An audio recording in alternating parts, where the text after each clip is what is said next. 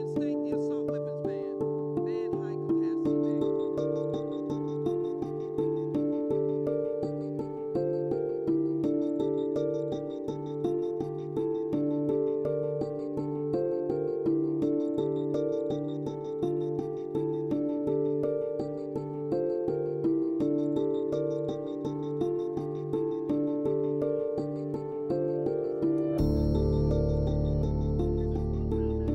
If trying to make sure that no more kids are put in the ground with a Superman coffin means dramatically change the country?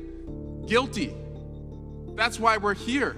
Kids are going in the ground today, and you call that trying to dramatically change the country? I don't think uh, that it's very effective for the children to have people on the other side of the aisle come in and accuse Republicans of being complicit in murder and that we put our right to kill over others' right to live